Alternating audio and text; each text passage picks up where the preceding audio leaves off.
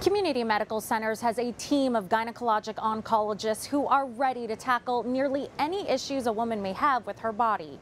The team is growing and recently welcomed one more physician, Dr. Dennis DeSimone.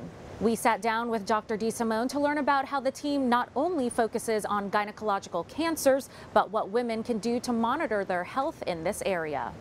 And it all depends on the type of cancer. So if a woman has not had bleeding because she's menopausal for multiple years and she starts bleeding again, that first drop of blood should be an indication that they should go and get checked out by primary, primarily their gynecologist. And then if something further is needed, they would get referred to a gynecologic oncologist. Other things to look for, ovarian cancer, primary peritoneal cancer especially, um, bloating, nausea, uh, uh, loss of appetite, uh, a feeling of constant fullness, um, gaining weight but eating less, um, bleeding, that's another potential option, or pain. These are things to, to prompt someone to go get checked out. The need is huge. Um, Dr. Wynn, uh, my partner, originally uh, said, yeah, it, it's, it's high need. Um, I think he underestimated that. It's almost overwhelming need.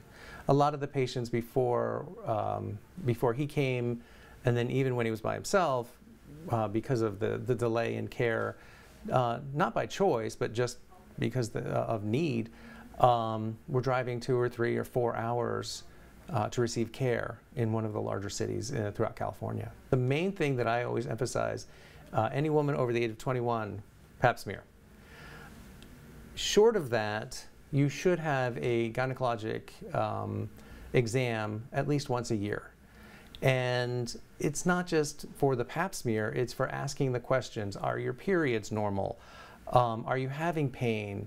Um, are there any symptoms that we should be looking for? Um, and so, absolutely, pap smears, age 40, I always say mammograms. And if you have a strong family history of, of cancer, that's another reason to, to be seen more regularly. I can't wait to see us have the ability to serve all those women who need our, our, our services.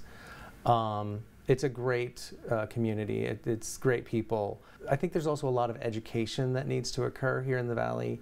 I, am just thrilled to be here. I can't wait to see us expand and um, be able to care for, for more women.